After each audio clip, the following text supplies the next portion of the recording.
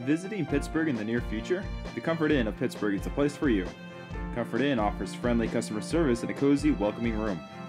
Wake up to a hot complimentary breakfast every morning, enjoy the indoor pool area year round, and keep in touch with your friends and family with the high speed internet. When staying at the Comfort Inn, you can feel at ease knowing your satisfaction is the most important thing.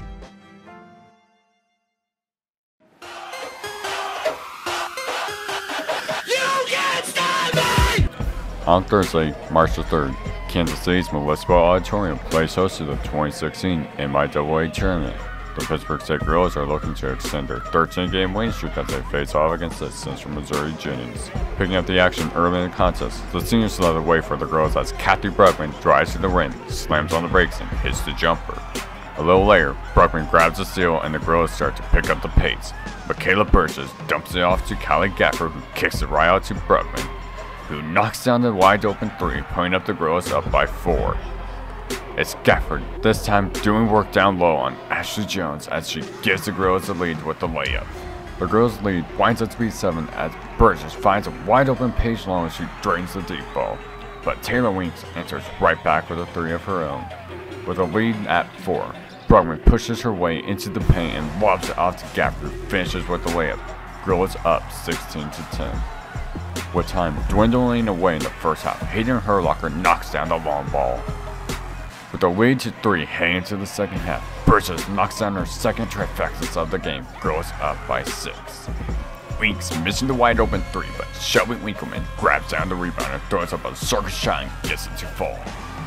Now, midway through the second, Izzy Morris sets the screen for Herlocker as she'll pull up from downtown and finds nothing but the bottom of the net. Burgess will join the action as she strikes from deep. Girl is now up by 10.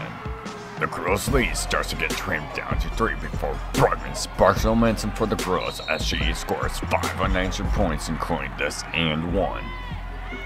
With time ticking away, Burgess are on the quick release drains the triple, giving the girls a double-digit lead.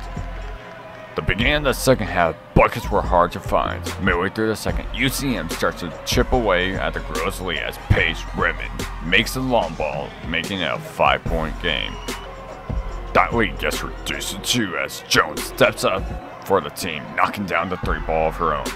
After an Asher Duffy and one, UCM earns its first lead of the game. Bruckman answers from long range for three more of her team high 21 points. Midway through the fourth quarter is when history is set for Gafford becoming the all-time lead blocker for Pitt State's women's basketball with her 188 career block. With under 5 minutes in the contest is when the Gorillas start to pull away. Burgess knocking down her final three-pointer of the game as Gorillas go up 73 to 66. The Gorillas' next possession, Lumless hits the layup, putting up the Gorillas by 9. Winkelman tried to keep her team in this contest. As she drives and finishes at the glass, though it's too little too late. As the girls' win streak now matches the school record with 14 as the girls take the win by the score of 78 to 68, improving to 25 and 4 on the season and earned its right to face off against the Tigers of Fort Hays State. Saturday, March the 5th at noon in the MIAA tournament semifinals. From Kansas City, Missouri, this is David Hague. The Holiday Inn Express of Pittsburg has flexible meeting spaces, complimentary internet access, a free hot breakfast bar in the morning, and an indoor pool that the whole family will enjoy. Come book a room at the newest hotel in Pittsburg, the Holiday Inn Express.